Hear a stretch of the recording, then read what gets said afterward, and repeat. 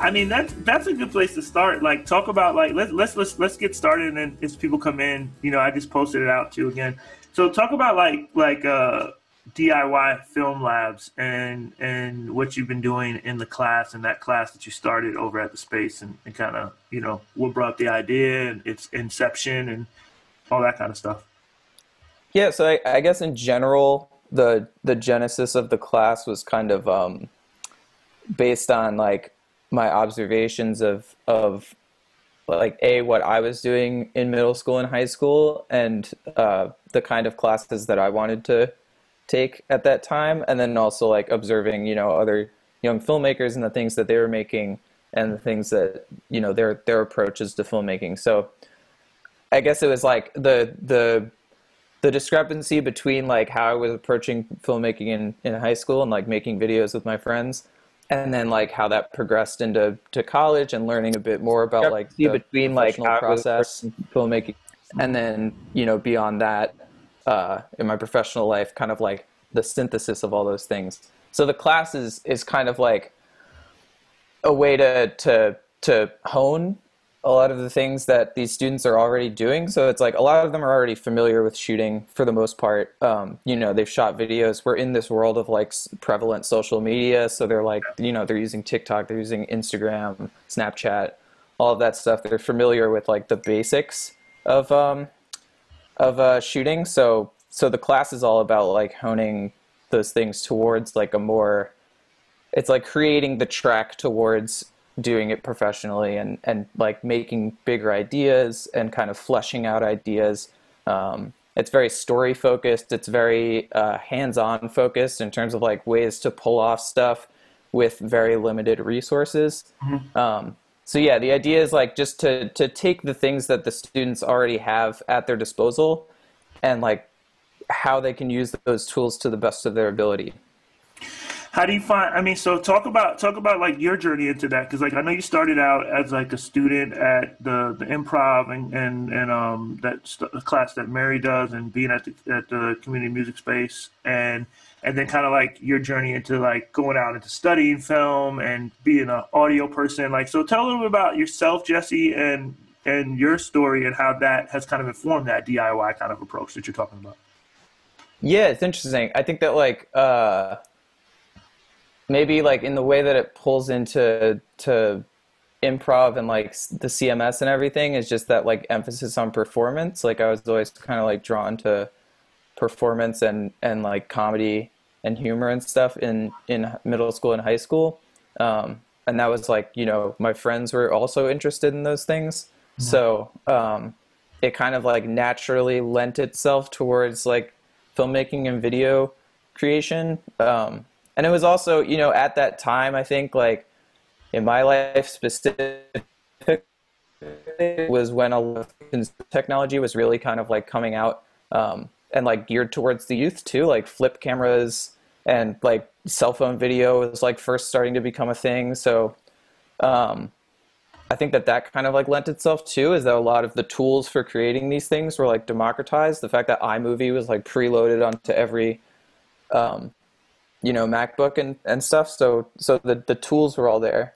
Um, game changer. And also like game changer for sure. Yeah, definitely. Yeah, like uh, my iMovie and GarageBand is probably like really you know contributed to a lot of this explosion of creativity um, and like democratic creativity. It it just like it puts the tools in the hands of so many people.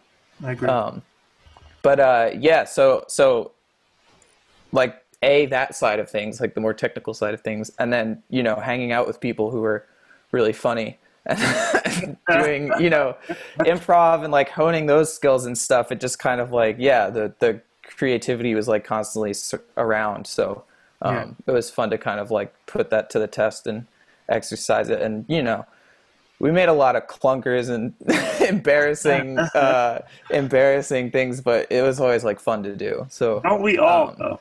Don't we yeah, all? Exactly. We all, exactly. we all do that. It's like um, it's one of those things where you just that's part of the process. I think. I think so. Anyway. Yeah, def- it's one hundred percent. Like the learning curve is is you're gonna make a, a bunch of uh, a bunch of bad stuff before you make the good stuff. But like, hopefully, making the bad stuff is still fun. It usually, it pretty much always is. Yeah. Um, and that's like it's the same with music. The the the process with music is pretty much the same. Where like you know you got and if you have like writer's block and stuff, you just have to power through the hmm. bad ideas to get to the good stuff. And I think like you know those ti those ideas sometimes like inform like what you're gonna work on moving forward and and how even if we quote unquote call it bad, but I think like I don't know there I I gotta believe that like you know something good came out of some of the bad work that that artists have done like like you're like it, uh, no I'm not gonna sh- throw shade at any specific directors but I M will- Night. he throws it out. You know, he knows that I'm not a big M Night Shyamalan. oh my gosh! Even though he, did- he did, come, he is having a comeback right now. He's That's true. Yeah, he he he swung it back around. That's funny. That's funny. So, like, how is audio? Like, you talk about like music and kind of the same process of music. How is? I know, like, primarily when you've been working in film, yes, you have the whole visual side of what you know and work on, but I know you do a lot with audio. So, like, how is that informed the way you think about things visually? Yeah, I think I think uh, college is what really like opened that up for me. Um, I mean, I was always doing music and stuff in high school, but um, in terms of like film sound and sound tracking and and uh, like Foley and stuff, I mean, it was something that I always kind of like had a, a little bit of an interest in, and I was always watching like behind the scenes featurettes and stuff on the DVDs that I got. Um, but in school, like you know, several professors that I had really kind of like showed me how immense and like how much potential the world of film sound has and and really how just how crucial it is to like the experience of watching something Mm. i mean especially if you think about like the dimensions of what you're experiencing in a film what you're seeing is just like two dimensions and it's just a narrow field of view of the world. Whereas sound you're literally portraying 360 degrees like the entire mm. environment. Speaking of the environment smack a lamp out here. Oh, you knew there was a lamp yeah. because you heard me hit it with my hand. So like yeah, it's so it's so immersive. And like if you like doing exercises in school and also like on my own in terms of you know, you take a, a video of something and watch that as a memory, it's a little detached. If you take a audio recording of a conversation with a friend or something and re-listen to it, it just puts you right back there. It's really incredible how transportative mm-hmm. audio is. Mm-hmm. So yeah i think that that that's really where like my love of that element of filmmaking kind of came from Yeah. um, was like experiencing uh, just how like transformational it could be and then a lot of my skills from music kind of transferred into that because it's it's all in the sound world I agree. No, I hear. I, I think. I think a lot. A lot comes back from, from, uh, from when you're in your process, and then like you've been working with sound. Hey, Vaughn, what's going on? Um, glad you're joining us. Um, so when you're in your in your process and you're realizing, oh wait, like I, I guess I see music. I, I I start writing music. I make music, and then instantly I'm thinking of the visual of like, oh, this is like, or try to create a visual through like the lyrics, or like or I hear a sound and I'm like, oh, this sounds like Stranger Things. This feels like you know this this feels like the '80s, and like you know hair that's like you know spiked up, and like you know like all that like mohawks and like you know definitely chains and like you know what I mean. Like that's like kind of the, I see it very visually, um, and I Mm. think that a lot happens um, with with music with me, and and that's why it was such a transition into like into filmmaking. What was like the seminal like work that like was like or like a work that was like you know what I really want to dabble with some film stuff. Oh, interesting. Uh, you know, it's kind of like it's odd and a little cliche, maybe, but uh, watching the behind the scenes featurettes of the Star Wars movies was like the first time when I was like, uh, oh, that like people do this as a job, and there's like a ton of people that are working on this project in so many different like capacities and and like specific fields that I was like I was fascinated in that. I'm like I can probably get a job Yeah, doing that. There's so many different Yeah, different right, things that you yeah. can do. So like that that's what kind of like opened my mind to the idea of like oh filmmaking is a profession. yeah, Um, which you know with like a huge you know banner release like that it is it's like you know hundreds and hundreds and hundreds of people working Yeah. on those I, I'll tell you, I, I, that was the same. I, it's so funny. Star Wars has done more to get people into filmmaking than people want to get. yeah yeah it's It like i don't think they're like the, the especially it was like the prequels uh uh uh featurettes and stuff so i mean that's i mean they're they're also you know because they're so big budget they have the the resources for those big epk patch, packages and stuff and they can have a lot of behind the scenes which is cool you get to see like Mm-hmm. every step of the process so Yeah, I, I watched Empire Strikes Back. I think somewhere around seventy times, seventy to eighty times. Like like Oh, wow. kid, my I, it was like on repeat, like like cartoons. My parents, my parents were like, "You you really need to watch something else," and I was like, "No, I need to watch Empire Strikes Back. I really." and they were like, "God, Lord, what have we done?" Like we got because they got me into Star Wars, right? And Yeah. I watched the movie so much, and and it really made me think about other other pieces. Obviously, it expanded when I started, you know, actually studying it and, and thinking about it and making my own stuff. But it um to to other pieces that I really loved. I think like some of the ones that really like marked times in my life, like childhood was like uh was was Star Wars and that whole thing, and like a lot of the TV shows I loved. And then like I would say like high school was definitely Do the Right Thing, Boyz n the Hood. Like those two movies were really like two movies that were like, oh wow.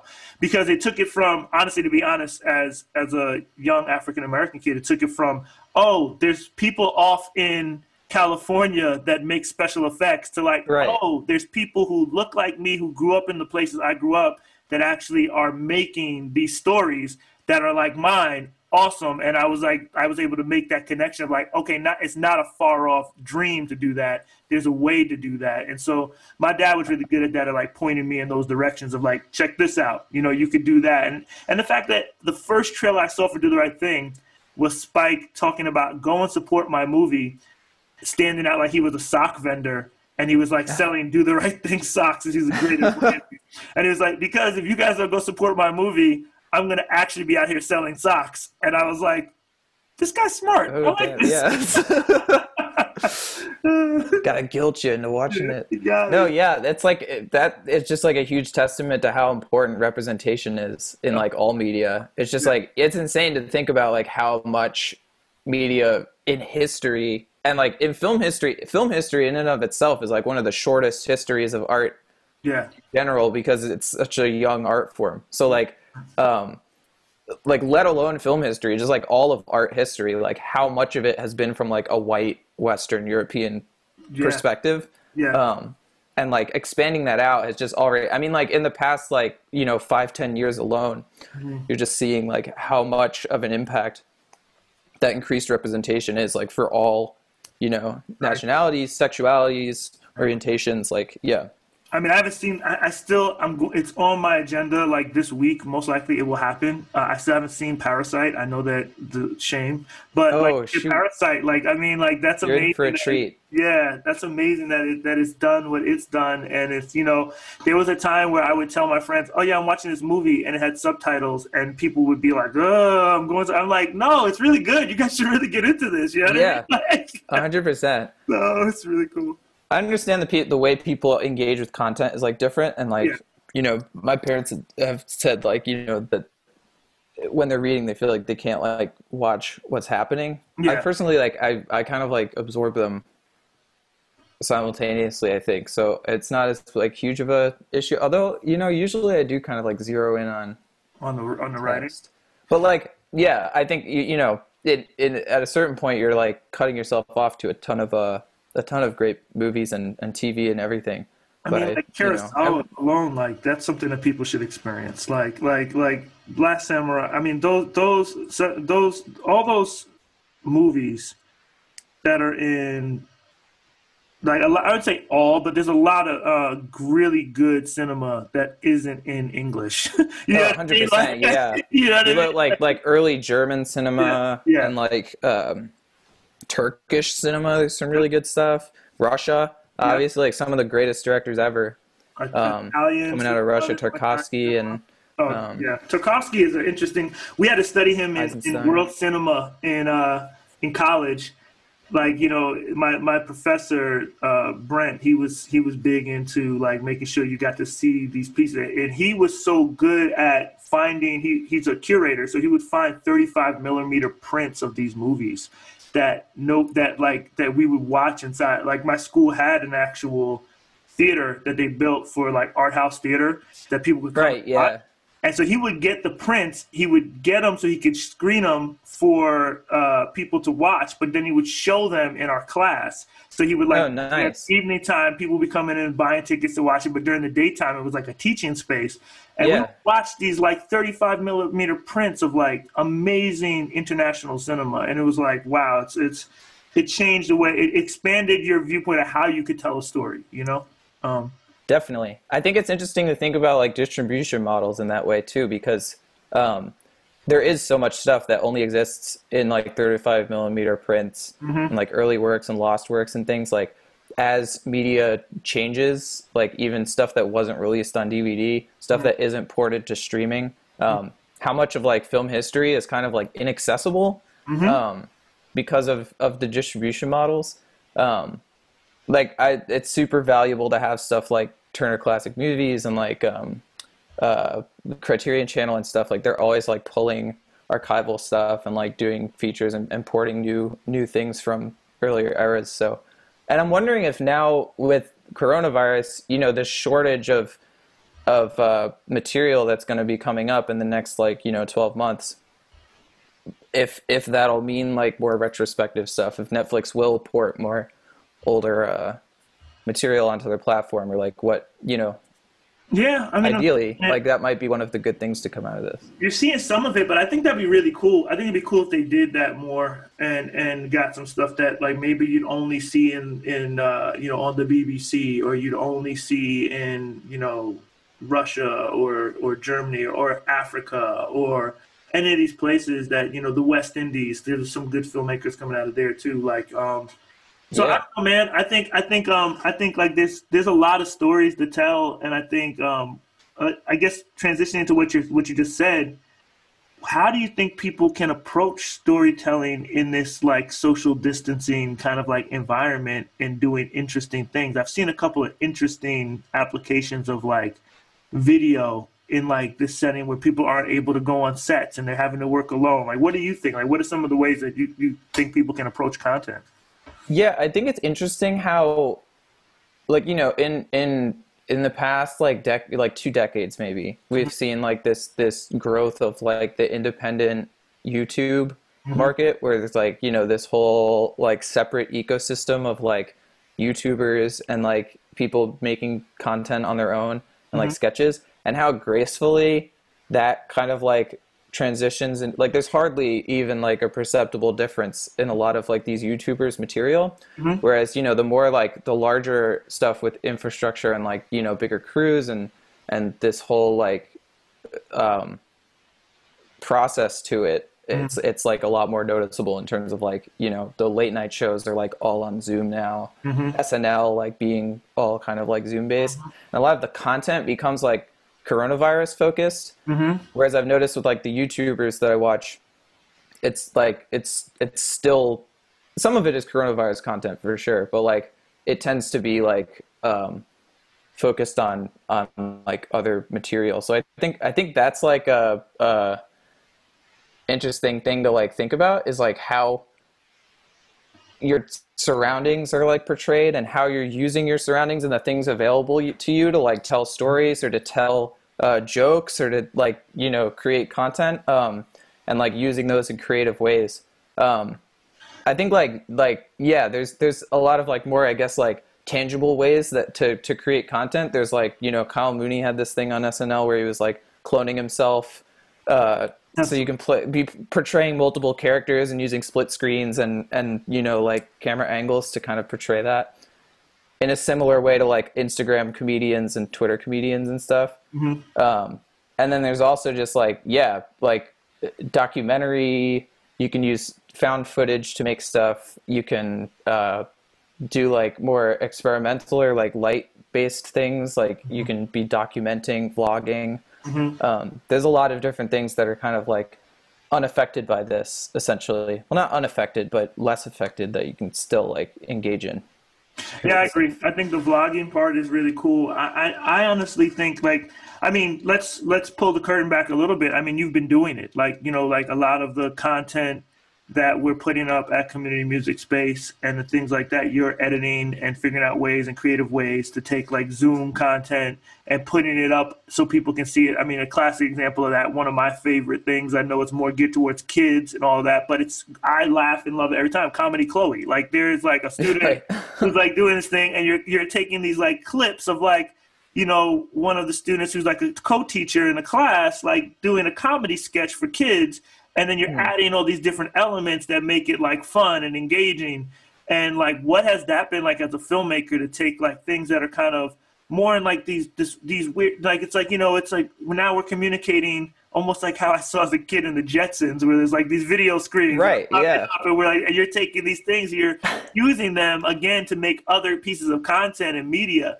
How has that been in process for you and kind of thinking about it and and, and uh, in a way that kind of communicates what you want yeah. Uh, oh man, I think like um, it's it's it's it's definitely like really fun to do because there's already kind of like a roadmap there. Like Chloe's performances are so like ridiculous and funny. Yeah. Um, and it helps that you know she's obviously like done improv for years and like yeah. it just has like that that kind of natural personality for like selling it as that character.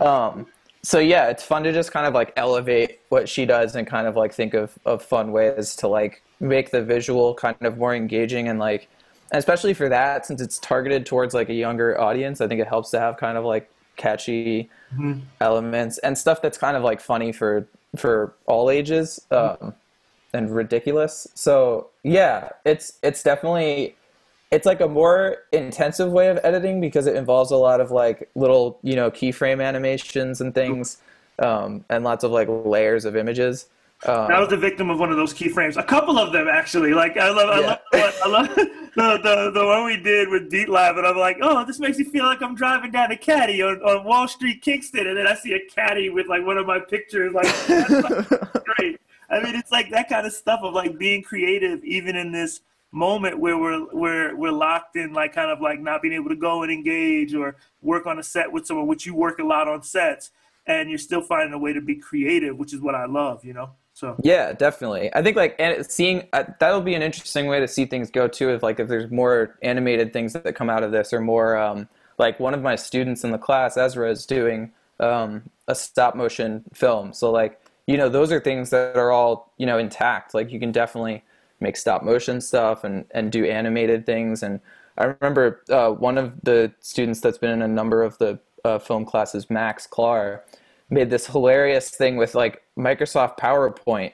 Like he was just doing like these like weird doodles and like um like image cutouts and stuff in PowerPoint. And like yeah, it's it's it's there's like tons of ways to like tell a story and make jokes that aren't you know rooted in directly like narrative filmmaking or anything you can kind of just like use the tools that are at your disposal. So let's talk about that. That those. So let's give some of the people who will listen look at this probably even a little bit later. Um, we don't have a bunch of people in the in the chat room, so like this will be something that people can like reference later on. Is um, it's kind of like what. So what are some of the ideas that you guys are doing in the DIY labs? Maybe we can give some ideas on top of those.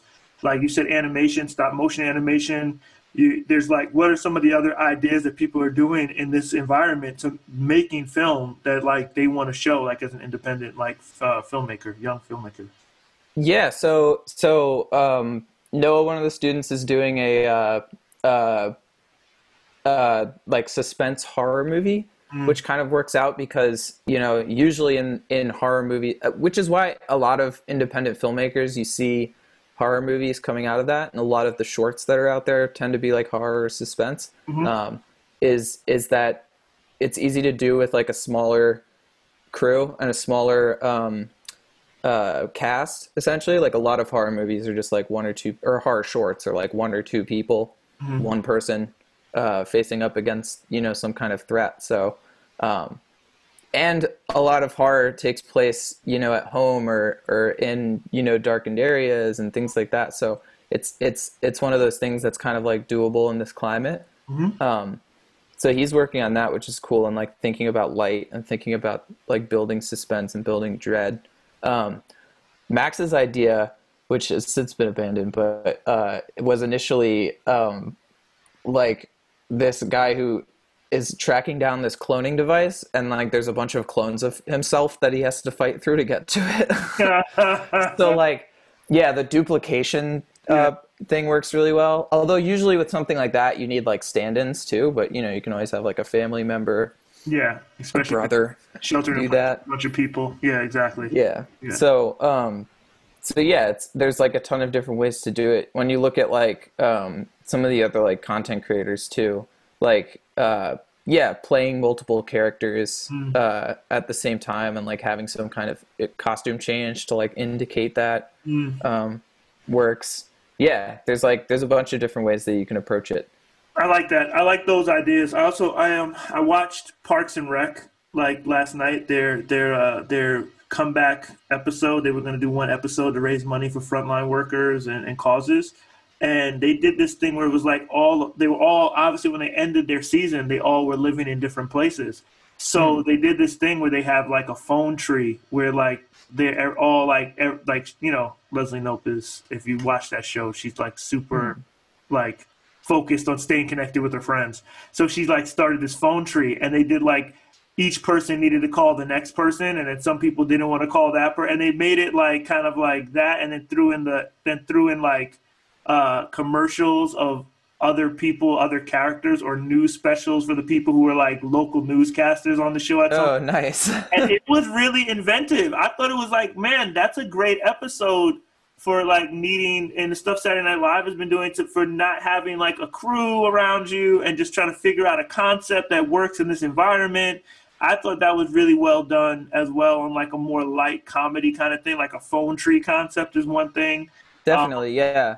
I mean, like Zoom focused stuff. Like, yeah, there's there's definitely a lot like cropping up now, and like it's interesting because there's this show. I forget. Oh man, what is it called? It's the the Phoebe from uh, Friends. Hmm. What's her name? Lisa Kudrow. Lisa Kudrow. Yeah. Made yeah. this show about like a, a psychiatrist. Um, like a couple years ago, it was like a web show, and I think it was during like a writer's strike. Um, but that was like pretty much you see the entire series through video chat so just to think about how like that format now is like so prevalent uh, out of necessity. Yeah. Um, you know, from from a lot of these shows, and it's cool seeing like how people are getting creative with it. I saw an advertisement for like a sitcom that's going to do an entire series via Zoom. So they, like they got no choice. They, I mean, like we're all in this in this place, and I think you know it. it that's why I'm. That's why I think this is such a, a good thing to kind of talk about. Is like, hey, when we're talking about you know some of the things you can do in this moment as a filmmaker, you know, that to actually make stuff. I think um, it's important to kind of think about, okay, what what can I do by myself in film? Uh, well, one thing I think that th- people can always do, which I think they'll get in the class, is there's a language in cinema that you know in this fast-paced YouTube which I don't. I love it because, like, like you said, distribution models are changing and it's making people able to get into they're uh, into making stuff a lot easier. But there's a language in cinema that I think people can spend time learning and investigating, um, like while you're in this space. Like, you know, some of the criterion stuff. Look up a person like Stan Brakhage, who to me is like, the, there's a lot of alone experimental stuff in like the 60s and the 70s that like would be definitely to watch.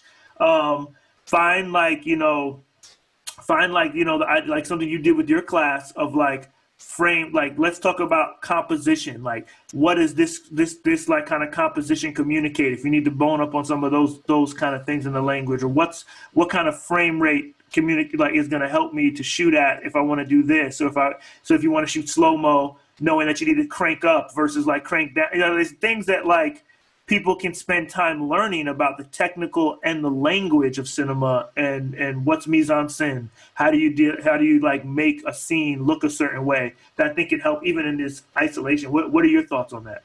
Yeah, I think it's a great time to brush up on and dig into like uh, like film theory for creators and, and people working in film like it's it's a super great time to like dig into that and dig into film history and dig into film theory and, and kind of watch things critically um, Yeah. most of the directors that I follow on like Twitter or Instagram and stuff are, are watching things, and my friends that you know are are stuck at home now are watching a lot in isolation. So it's definitely a good time to kind of like take it as an opportunity, as, as like a sabbatical, or like you know you're like digging into uh, watching stuff with a critical eye. Um, I've been like giving some some feedback on like some friends projects too. So like um, it's a great time for writers. Like I've seen my my cousin recently wrote an entire feature script, uh, which like you know I, I I don't think that people should feel like pressure to like I gotta write a feature right now. Yeah. Well, like, you know, like if There's a lot it strikes you, if you if you have the time each day, yeah, it's like you're being lazy. You're not writing that feature. Yeah. Uh, yeah, but like you know, it's finding the time to write a little bit each day, scripting things out, uh, storyboards you can do in isolation. Like you can be planning the thing you're going to shoot uh, when this all you know goes out of lockdown now, um, which is cool. And then yeah, like working on on small exercises and like figuring out how you can like push yourself um, to to use different techniques and to kind of like explore different facets of film history and Sure. yeah. There's there's a lot of ways you can like stay in touch with it. yeah stay in touch with the filmmaking process and I, and I, I, I think like you know self self portraits i think diarying that video diaries or video vlogs kind of thing Yeah. during this time period are critical because like i you know documenting what's happening right now while we're going through this in things that may live on for a long time for people Yeah. Who are born later or never experienced this to actually see what this was like, you know, is, is valuable. There's value in that, I think, you know? So, It's like a, it's a, you know, they end up being kind of historical documents. It's like a, a, a primary document, right? yeah, 100 Um, that's like, yeah, one, one of uh, my friends from college, Jackson, was shooting, a, like, he's in New York, he's a DP based in, um, in uh, New York City. And um, he was he was going out and shooting a lot of stuff with like the, the you know streets being abandoned. I believe it was for like an advertisement campaign or something, or maybe it was for the city. yeah. um, but themselves. But but yeah, shooting a lot of like you know the streets being empty and like just the like really bizarre state that everything's in now. Which like yeah, eventually that'll like hold up, be good for like documentary footage, be good for you know reference to like oh this is what it looked like. All um, that drone footage. I've seen so much drone footage. I've seen like, you know, New York City. I've seen Austin. I've seen like LA. It's like, it's wild. People are like really getting out there with their, with their, you know, like aerial footage and showing some of how empty everything is and how quickly you can get, get through spaces and, and, um, and I mean, and some people, you know, and, and like, you know, this is a, a like you said, historical document that's going to show the moment we're in, how we're navigating it, and and I mean, this is where film. I my personal belief about film and cinema. This is where it really has power, right? To like take these things and show what's happening in a moment that that you can't capture any other time. Like not just like, hey, I'm gonna set this whole shot up and make it look this way. Yeah, that's cool. But also like that documenting, like documentary style, like, hey, this actually is happening and this is what it looks like and this is what it feels like. And um, and using cinema as a language to communicate emotion um, and and moments is is I think really powerful. You know, so Yeah, definitely. And it's something that's like more more available than ever to everyone. You know, like everyone's like Instagram stories or everyone's uh Snapchat uh stories and stuff are are all, you know, a part of like what it's like right now to to to be living through this. So I agree. I mean, I think live. think too. about like the democratized uh uh documentation of all I love it. I love that. I love. I love it. I love. I mean, a lot of times, you know, to to a lot of times people are down on like how how much you know. Here's everybody. You know, you can just pick up a phone and shoot a film. And but to me, you know, to be completely honest, it it gives the reason I think the people were down on it is exactly what you were talking about. Is that it's been a closed system for so long. I mean, when I was going through college, I got a I got a a, a failing grade because I I refused to write a paper uh, that was in support of of um, God, that movie that I hate with uh, you know, I put I almost block it out of my mind right now. It was uh, it was it was it's um the very first the the very first movie that everybody talks about was like this great movie with sound. Oh, was it Birth uh, of a Nation? Birth of a Nation. Oh God. I like the KKK heroics movie. Exactly, the- exactly. So Yeah. I was like, I was like, I'm not gonna talk glowingly about this piece that is everything I despise, right? And Yeah. and my teacher at that moment, you're still in this good old boys kind of network where it's like there were, I mean, like literally when I was going to school, it was 2004, I graduated from college in film. It was, there was like, you know, this whole thing about push to let's get more women directing. It's like, I mean, they're still doing that. Like 20 years later, we're still, I mean, there's And it's still yeah, right. It's still so happening imbalanced. because Yeah. it's so imbalanced and so there's Mhm. like you know there's definitely like this closed system so the advent of like camera phones and and these like affordable ways to like grab like you know uh high definition footage and 4k footage and and and tell your story in digital video is is so so key man like and, and i and i know that Mhm. that's why i think people are, are so like down oh here's everybody everybody can do it it's not the same I mean, I get it. Some people it's your profession and you're whatever. But as musicians, I kind of just that happened to us years ago. Get over it and make something cool and like figure out how to adapt. to Right. it. You know what I mean? Yeah, and and just because uh uh you know someone's shooting so just because Sean Baker is shooting features on an iPhone doesn't mean that Paul Thomas Anderson isn't still shooting on like 70 millimeter and you know like th- they all exist simultaneously. It's not like you know the the iPhones are taking over and making everything else like disappear. Yeah. So 100%. yeah, I think like and when it comes to filmmaking, like story is like the heart of everything. Like you can shoot something on a Nokia and like and if the story's good and you can tell what people are saying, uh then you'll be invested, you know? Like that's- Blair Witch is like low, you know, low quality, right. you know, DV tape, I believe, right? It's like it's like, you know, yeah, it's was like of so Canon GL2, I think, or something like that. Yeah. XL, XL, yeah, it was. and it's an incredible horror movie. So Yeah. like you know, it's uh, the tools at your disposal can like yeah can elevate it and like don't even necessarily like like story is really the the most important thing if you're really paying attention to story and like how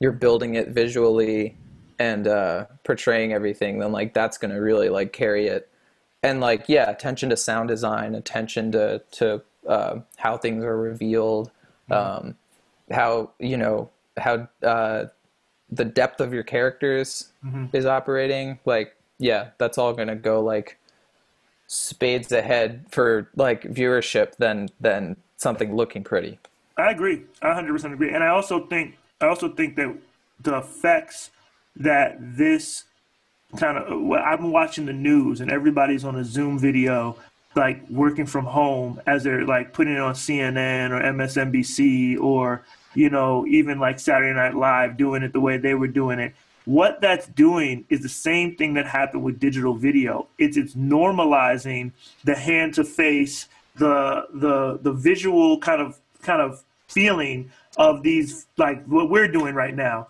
Yeah. it's starting to become more normal where the person who's viewing it won't feel like oh that's cheesy or that's low rent or that doesn't look great or i don't love i don't love the way that looks they'll start to feel like oh yeah that's just somebody doing that kind of session and then the content will matter more even more than how it looks because of that because they're normalizing some of the production limitations in a way that make it like more about what you're saying and what you're showing. You know what i mean? Yeah definitely. So no i hear what you're saying in terms of like like i guess it you know it's similar to, to representation that way. It's like you're seeing something that's like from your day-to-day life that is then like reflected in the content that you're you're uh you know taking in. So it be, it creates this like direct link- linkage and like kind of changes the landscape. 100% 100 yeah.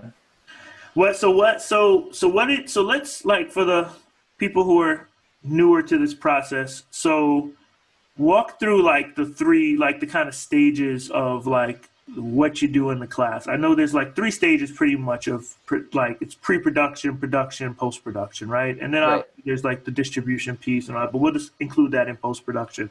Why don't you walk some people through kind of like the stages of how you approach that if- from a DIY standpoint when you guys are getting in the class? Like uh, we know like the big production, there's lots of writers and then you get location scouting and you can talk to someone like I know you do some of that with location scouting and things of that nature, but but I just want to kind of get a sense of like how you walk through those three stages of production for for like DIY.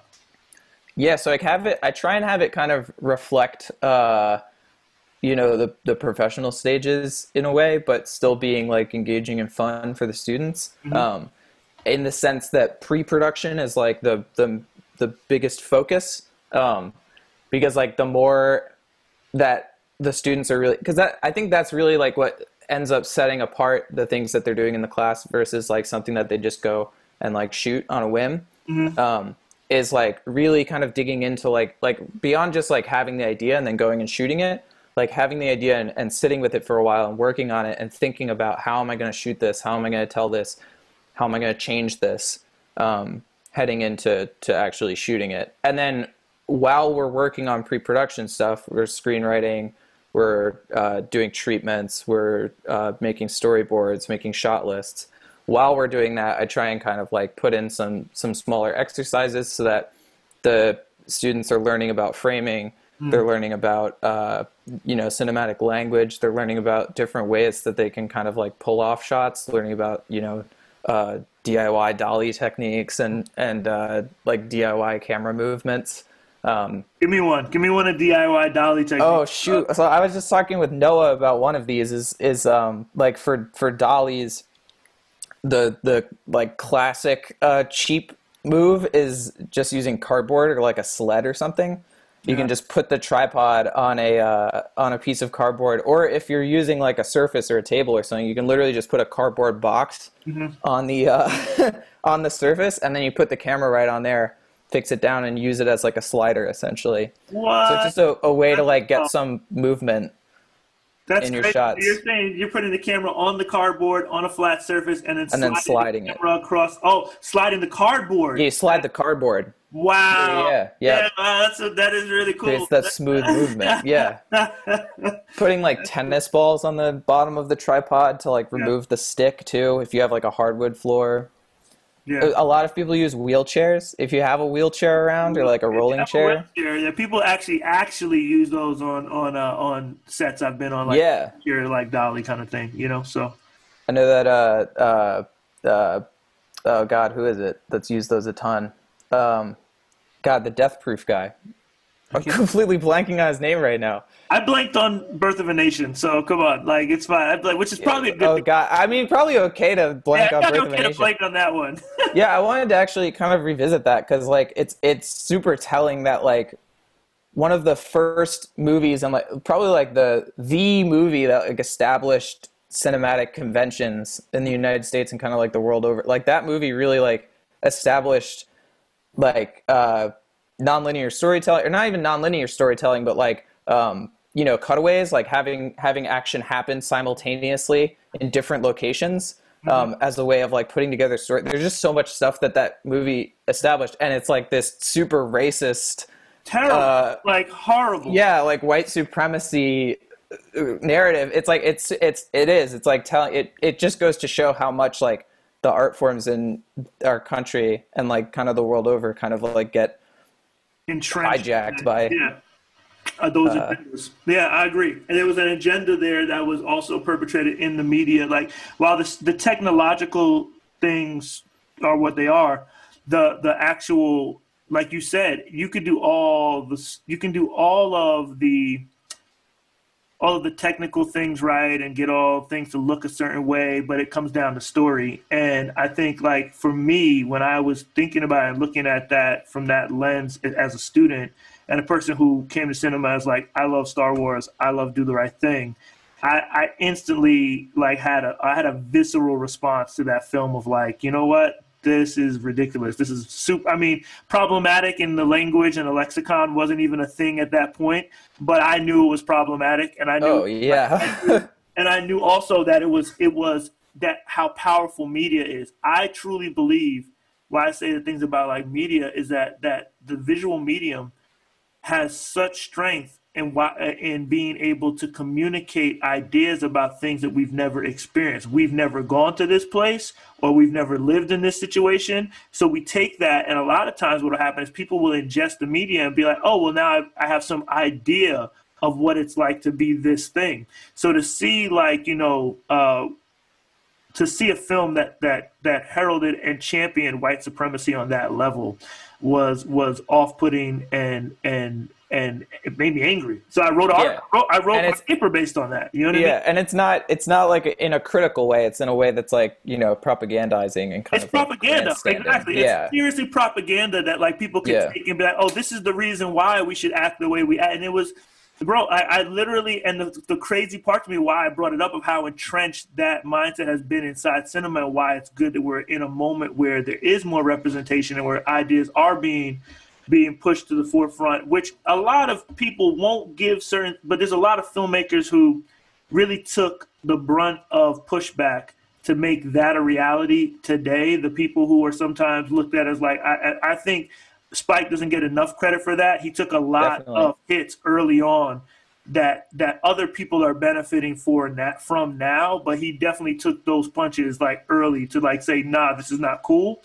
And um and I and I think you know Oscar Micheaux is another person that nobody took. Like people always act like Spike was the first like black director, which he is a very important black director. But for me, my dad mm. and hmm. me sitting down and watching some Oscar Micheaux movies of what he was doing in early like not no like sound before sound like silent movies into sound he was making some powerful pieces of art and that's not that's not put in the curriculum of film schools and so we get birth of a nation and that's what i wrote i wrote that paper and i failed that shows you how entrenched it was i literally got a d on that paper because i refused to oh god yeah i literally got a d and i and i said listen i was going to a in the class if writing that paper and sticking to my guns got me a d and then I ended up with a B in the class. At least I could hold my head up knowing that I didn't like just like you know take take that. Yeah, saw it. You know what I mean? I was like, fine, cool. Just like not not support something that's like you know in line with your values. One hundred percent. Yeah, no, it's it's super like it's super interesting to kind of dig into like the history of of uh yeah like black filmmakers in the United States and and and you know how they kind of I just was watching you know some Sidney uh, Poitier. Mm-hmm movies and like you know how he kind of like leveraged black exploitation the black exploitation era to kind of like tell these stories in a very interesting way mm-hmm. um, that's like kind of portraying like the different facets of like black life in the 70s in the united states and like those communities and like celebrating those communities. Um, and then like experimental filmmakers like bill greaves mm-hmm. and stuff that like were just doing like completely out of the box like really interesting like meta textual kind of stuff. Like Symbiopsychotaxiplasm is one of my favorite experimental films because it's just so like it's just such a bizarre setup and like he's like playing this character that's like an exaggerated version of himself and like messing with his crew and it's just it's like yeah there's there's there's all of these different like filmmakers that you can kind of like dig into and like see like wow if if if these were the voices that had shaped commercial filmmaking in the same way that you know D.W. Griffith did or like in you know if they were in that position instead of him like what would filmmaking look like today well it, it just like a really interesting and you know filmmaking like any art form like there's always an argument does like how does art imitate life or does life imitate art and people talking about that and the reality of it is, is that that wasn't in that moment when he's making that film, in my opinion, there already were some social issues that needed to be addressed, as we all know, that Definitely. were not addressed, right? so. Like, like so, so, so, that's an understatement of the, of, yeah. of the right? So, like, with that being said, like he was, he was like clearly on the side of oppression, like clearly on the side of that, and mm-hmm. and they and I think due to that, you know, I, I think like but that's the story of of where we I think like that's the power in right. stories. And that's the story of what we've lived. That's through. the historic that's the history of the US. That's like, you know, it doesn't shy away from it. Exactly. So I think I think like like more women directors, more multicultural directors, more yeah. and, not only directors, let's keep it 100, like like producers, like Definitely. you know studio owners because like that's where people get it twisted is we get stuck in is we need more directors and auteurs and that's great it's great to have as many people like that as possible but the business of film is more than just like directing a picture. It's it, there's so much into it, and a lot of people who you never even know their name are the ones who are really reaping the benefits from the artistic creation that's being put in the world. You know, so absolutely. I mean, I'd argue that filmmaking is like the most collaborative form of art that there is, like yeah. especially on a commercial level, and and uh, yeah, like the more the more different voices you can have in like every department mm-hmm. um, in the creation of something, the stronger it's going to be. Um, and you know, the, the the more engaging and the more it's going to like actually reflect reality is if you have like a lot of voices and a lot of perspectives coming in from it rather than like just one perspective. I agree, and it's like five, like like to think about when you're talking about the most collaborative art form. I was I was like, it's the only art form of all the right? That involves all the art forms I like. Like Yeah, like right. acting, music, photography and videography. Yeah, like writing. Writing, like state like the design, like it's literally mm-hmm. everything in one single art form and you need people who are experts in each portion of that to collaborate and make a solidly good piece. So yeah, no, I, I think it's highly collaborative, which is why it's absurd to not have multiple perspectives and voices on a project because then you're making you're just making you're making art in a bubble. It doesn't make sense. So yeah. you know. So I mean, even like if you're approaching something YouTube style or like shooting something on your own, like you know, shooting it over to friends and and you know, getting their thoughts on it, getting feedback. Um, there's a lot of ways to approach that. Writing something with a friend, like collaborating on a script and then going and shooting it. Um, there's like you know there's a lot of ways to like involve other people beyond uh you know when it's on a smaller scale. Like beyond just like on an industry scale like how urgently that's needed. So let's shout out some let's shout out like we're talking about this and we've been so so this is a good good moment. Like yes we do film programming and we're going to do more of it. And diy filmmaking with jesse is a great course. I've been in classes watch because we want more people taking it uh, we're going to do some screenwriting courses over at uh, Community Music Space um, as well. So if you want to sign up for a film class, or if you want to check out uh, community music, uh, DIY filmmaking, maybe they're coming to the end of this session, but maybe would it be okay for somebody to pop in? You think like just for a class, or is it kind of coming to the end? Yeah, they could they could probably pop in for a class. I mean, especially on like the Saturday sessions where we're kind of coming together and watching footage. Cool. Um, would definitely be doable. I mean, also just like kind of like you know shooting out a line if you're if anyone is interested in learning you know different aspects of filmmaking, like what aspects they're interested in, mm-hmm. um, because you know we're still kind of like shaping up what the next iteration of this is going to look like.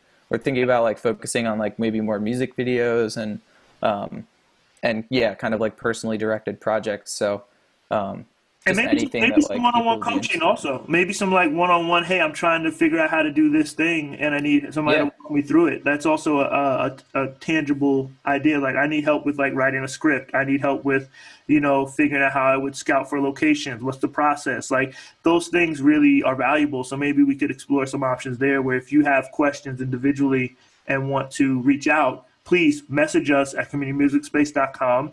Uh, we have a, a plethora of resources to help um, but I want to take this moment too, besides what we do, as we're talking about inclusion, let's shout out some of the community organizations that we know that also deal with film. Stockade Works is one I know that you're very linked to. I'm going to shout out Youth yeah. FX, Youth FX in Albany. They're they are they do amazing work. Um, you talk about inclusion and uh, voices from multiple different perspectives. They're they're a great example of that, and good dear friends of mine.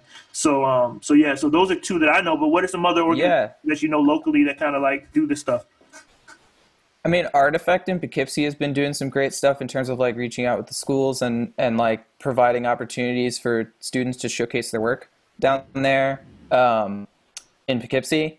And then um, uh, on terms of like a professional scale. Um, the the studio in Newburgh. Wow, I'm blanking on the name of the studio in Newburgh. Umbra, Umbra Sound yeah. Stages in, mm-hmm. in, in Newburgh. Like the fact that Newburgh is kind of becoming a hub for um, for studio work is like incredible.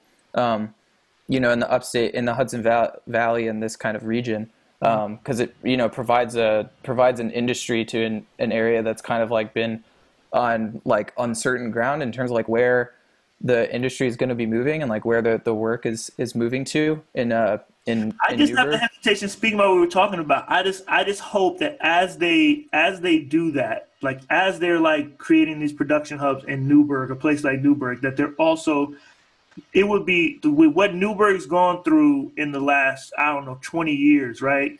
Of, Mhm. of existing. I hope that they're involving creatives that grew up in that environment into the process versus coming in from Beacon or up- da- or downstate in New York City and be like, "Oh, the property's cheap and the whole city's been like kind of like in turmoil for years. Let's buy up some cheap property and then make some production stuff." So I hope that as they're doing that, they're actually including people in that process like Artifact and those other people. Yeah, I think I think that they've been doing well in terms of like it's obviously like just starting because a lot of the productions now that are shooting in the Hudson Valley. I mean, there is like Hudson Valley Film Commission too is doing a great job in terms of like connecting producers with local workers so that local crew are working on the productions that are shooting up here. But a lot of them do have a lot of New York City crew, mm-hmm. and you know, Stockade works are crucial to like pushing people to get trained in you know how their their skills can be applied for filmmaking. And Umbra, I know, hosts a lot of like free PA training, so it's like free to attend, and and you get you know trained as a PA. So as long as their outreach is working okay in Newburgh, I would hope that a lot of Newburgh residents are kind of taking that up and, and finding ways to get involved. I know I've worked with a number of PAs from from Newburgh and from Poughkeepsie, so it's cool to see Yeah, you know people that, that grew up in those areas like working on the films up here. Yeah, a hundred percent, and also also like looking at top line stuff, right? Like not just not just like below the line. Stuff. Oh stuff, yeah, hundred percent. above the line stuff. Like the below the line stuff, I think they're gonna get in spades. People are just gonna want to be on sets. I, I mean, that was the biggest realization after film school for me was like, man, I went and got this high priced filmmaking degree, and now I'm taking out trash and doing errand runs as below the line work. Yeah, doing the unit PA stuff. yeah, it's a, you get the above the line stuff, you know, here and there. But yeah, I think, Mm-hmm. I think, I mean, like, I, I think what a lot of people realize is the above the line stuff you really got to make happen yourself, you know. And I think like being able Yeah. to, like, like one of my professors said, you're either you're either a director or you're not. And what he meant by that was not like you're either talented or you're not. He meant that either you're going to go tell your story somehow, some way, by hook or by crook. You're going to write your script. You're gonna go and get somebody to help you like raise some money or raise the money yourself. You're gonna like figure out how to act, get people casted, edit it all together, or Yeah. You're gonna work on a set because there's no clear trajectory as a director from like a PA, right? So Yeah. when they You start, you have to be like slightly delusional to become a director or producer, like in the sense that it's just like utter like motivation and confidence to like reach those levels. Um, hundred percent, like yeah, you gotta really like believe in your work and believe in in who you are and like you know yeah like like I think like practices in terms of like honing your skill set is gonna like boost that confidence and spending more time on set and seeing how things work like boosts that as well. So because I was in because I was in I was in New Mexico when they started doing the film incentives. The reason I bring up inclusion and the people who are there, and in the beginning it was just a bunch of people in LA coming from LA doing like a land I would say land grab. That's an exaggeration. They were hiring the quota that they needed so they could get the tax rebate, but they were really like not telling uniquely New Mexican stories the, or anything that actually gave voice to the people who were there present already. right, just, just kind of exploiting the region as like a hub. as like a hub. Yeah. And what I found is that what they found actually is when they flipped it and started making Breaking Bad, and Right. it actually was a story in Albuquerque, there it was a big hit. So now you're Hmm. seeing more things about Albuquerque show up in movies and things like that. Yeah, right. the fact that, that somebody took a chance. It was like, well, why don't we just make it about a dude who's like in Albuquerque doing these things? And the reason why that works is because there are unique stories. So, so I, when I say the thing about Newburgh, there are some unique stories to experiences in Newburgh that should not be like just like basically we don't want to gentrify through media or through actuality and make sure that we tell those stories. Like I think like that because there's there's unique things that happen in these different regions and pockets, like there is in in Red Hook or there is in in Beacon or there is in you know Kingston. So mm-hmm. I think like I hope as they start as we start building out our film infrastructure in the Hudson Valley, which is happening, which is dope. Yeah, hundred percent. Yeah, we really get some of the voices like yourself. You know, I you know I have stories in me. I know there's other people I know in the region that have stories in them. I know some people up in Albany that do that we get those unique story perspectives into the mainstream, right? To, to get people to see things they've never seen before from a perspective they've never seen. So. Definitely, yeah. It's cool to see, uh, uh, you know, filmmakers that grew up in the Hudson Valley kind of get traction. I hope that that continues, uh, you know, moving forward. Like the fact that we have like, yeah, a good like talent base here. And, and there is that like New York City connection and stuff, and, and there's a lot of productions coming up here I think moving forward, hopefully, we'll see more of those voices start to emerge. 100%. Like yourself, let's give it on the closeout what did you go to Sundance for? What was the film that you guys went to oh, Sundance for, and, and your role on that? And I just and and I just realized that I feel bad for calling uh, producers and directors kind of delusional, since I work with a, a lot of producers and directors. They're not delusional, I promise. It's just like you know, it's it's an insane trajectory to get there. But um, uh, yeah, I I worked on this sci-fi uh, comedy called Save Yourselves last summer that shot in uh, Olivebridge, and I was the location scout and uh, location manager for that project. Um, finding the cabin and woods and uh, lookout and a, bun- a gas station, a bunch of other various spots that they needed to to shoot the movie. Um, and yeah, got accepted into Sundance, uh, premiered there, uh, which is great. It was like a packed house there, which is good to see. Um, it got a distribution deal, um, which is like awesome and and kind of increasingly rare at Sundance lately. So so that was super. When, it, when is it going to come out? Do you know, or but all this has it kind of slowed down? I I'm not. I think it was supposed to come out this summer, but now with theaters closed, I'm not sure what the status is. It was going to South by Southwest, um, which then got canceled. So um, you know, I'm I'm not sure where it stands in terms of the uh, the the theatrical distribution, but I do know it was acquired, so it might be it might be ported out to a streaming platform or just have a delayed release uh, because of that. Yeah.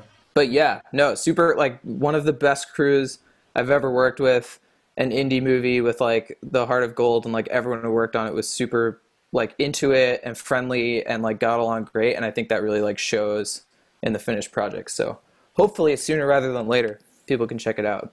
Awesome, awesome. Well, thank you so much, Jesse. As always, I mean, we would like I like I always say on on these things we've been doing is we would be having uh these these conversations regardless. So like right. my dear friends, like so it's cool. Yeah. It's like stuff that we like to talk about. But man, it's a pleasure to like share this with our community and with people who are tuning in and anyone's gonna watch it in the in the recorded version please go to communitymusicspace.com, sign up for some of the film programming that's there. Jesse is awesome. And we're going to expand that in the coming, you know, weeks and months, and, and make it available for more people in the online space, so that it's not just people who live in the Hudson Valley, and we can like reach more more of you folks. So thank you for Definitely. joining, Jesse. And all, I think all I think also also for Voice Lab, I'm going to be doing a little bit of video work in terms of like shooting video for for people that want to sing and, and make music. So check out the Voice Lab session. That's yeah, definitely check out Voice Lab. Check out all, all the classes. All, all of them. All of them. yeah, check check them out. I'll be dropping in on Beat Lab. Yeah, he's always dropping. we love it. We love it, man. He got. We were like, I was shocked. He was because I know you make music, but I was like, we're like, hey, everybody who wants to jump on the track, and then it came back, and I was like, whoa, Jesse is spitting like he can. like this is amazing. That's awesome. So, Got to do it. Baba Black Sheep. Yeah, there it is. Yeah, sweet. No, this was great. Thank you so much, Paul. It was fun chatting. Definitely fun chatting with you too. All right, Liz, and I got. Oh, it's so weird. I can't call my mom Ife, but she's in here too. Later, later, Liz. Later, Sarah. You guys, you know, love to all of you guys for joining, and thank you guys for for being part of it. Um, and uh, yeah, you guys have a good rest of your day, and um, we'll be back here next week. Enjoy your weekend. Get outside in you know a socially distancing manner and uh, and breathe in some fresh air as much as you can if you live in an environment where you can. And uh, thank you guys for joining us. Have a good one. Yeah, thanks so much, everyone.